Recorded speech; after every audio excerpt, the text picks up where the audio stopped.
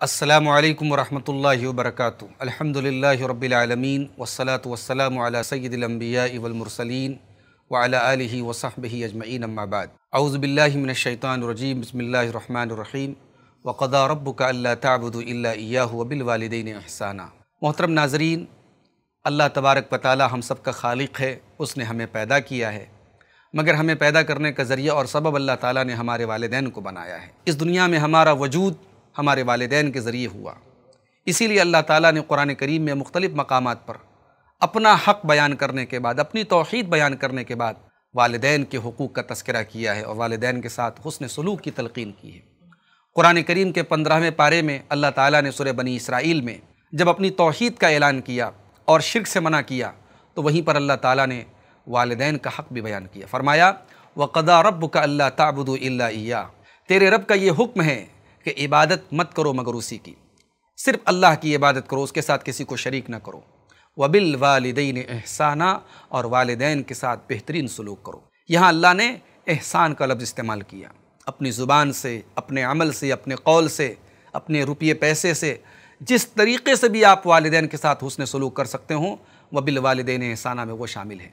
और ख़ास तौर से जब वालदेन बुढ़ापे की उम्र को पहुँच जाएँ तो अहले इल्म कहते हैं कि बुढ़ापे की उम्र में बहुत सारी चीज़ें बचपन की आदतें और बचपन की जो सोच होती है वो लौट जाती है। जिस तरीके से बच्चा बचपन में ज़िद करता है बहुत सारी चीज़ों के लिए, बुढ़ापे में भी एक ज़िद का जज्बा पैदा हो जाता है। इस तरीके से बच्चे को बहुत सारी चीज़ें बड़ी मुश्किल से उसको समझ में आती हैं।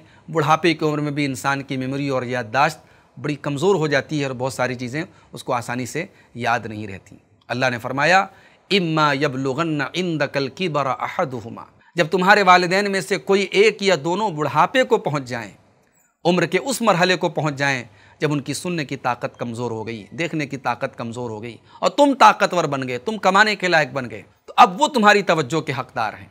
कल तक तुम कमज़ोर थे, तुम छोटे थे, वो तुम्हारा ख्याल करते थे, आज वो बूढ़े हैं, तुम उनका ख्याल करो।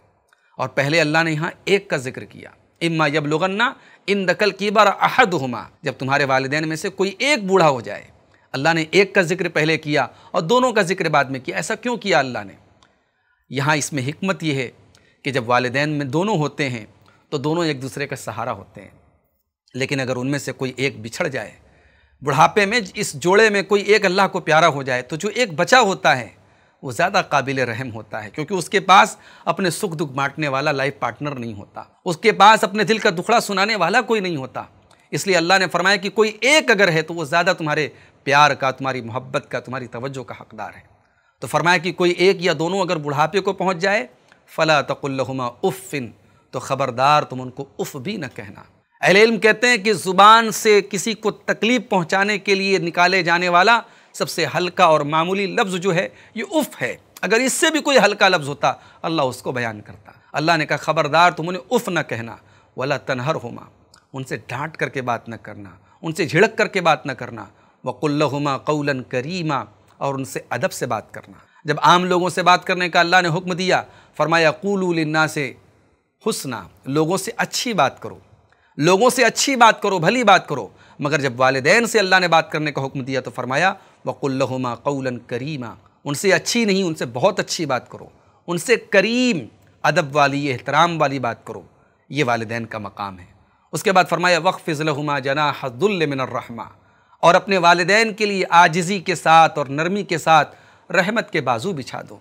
आप दुनिया में जितनी भी तरक्की कर लें और तरक्की के जितने भी मदारिज तय कर लें वालदेन के सामने आपकी गुफ्तु तवाज़ु और नरमी के साथ होनी चाहिए। अकड़ करके तकबर के साथ उनके सामने न बैठें। आज कितने लोग हैं, बूढ़ी माँ के पास बैठते हैं, मोबाइल में लगे रहते हैं, बूढ़े बाप के पास बैठे हैं, मोबाइल में लगे रहते हैं। जब आप अपनी माँ के पास जाएँ, आप उस हस्ती के पास जाते हैं, जिसके कदमों के नीचे आपकी जन्नत बताई गई। जब आप अपने बाप के पास बैठे तो ये सोच करके बैठें कि बाप को अल्लाह के प्यारे नबी ने जन्नत का दरवाज़ा करार दिया है। आप अपने मोबाइल को थोड़ी देर साइलेंट कर दें। कुछ देर उनके दिल की बातें सुन लें, कुछ देर उनके साथ सुख दुख शेयर कर लें। इससे वालदेन को बड़ी खुशी होती है। अल्लाह ने फरमाया, उनके लिए अपनी रहमत और आजिज़ी के बाजू बिछा दो। वकुर रब रहम हुमा कमा रब यानी सगीरा और ये दुआ करो कि, ए मेरे रब, जिस तरीके से बचपन में उन्होंने मुझे पाला है, अय अल्लाह तो उन पर रहम फरमा। यानी अल्लाह, उन्होंने जो मेरी तरबियत की है, उसका हक मैं अदा नहीं कर सकता। अय अल्लाह, मैं तेरे ऊपर छोड़ता हूँ। तू उनके ऊपर रहम फरमा। मैं उनकी परवरिश का हक अदा नहीं कर सकता। मैं अल्लाह तेरे हवाले करता हूँ कि तू उनके ऊपर रहम फरमा। ये छोटी सी दुआ बड़ी जाम दुआ है। हर औलाद को चाहिए कि अपने वालदेन के लिए ये दुआ करता रहे।